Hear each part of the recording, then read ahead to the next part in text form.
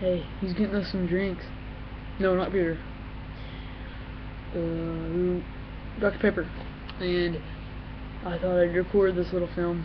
Um, our video is going to be very crappy because of the lag and stuff. And yeah, this video is only going to be uh, 40 seconds long. But um, yeah, it's going to be. I have a fan in the background, that's why. Okay.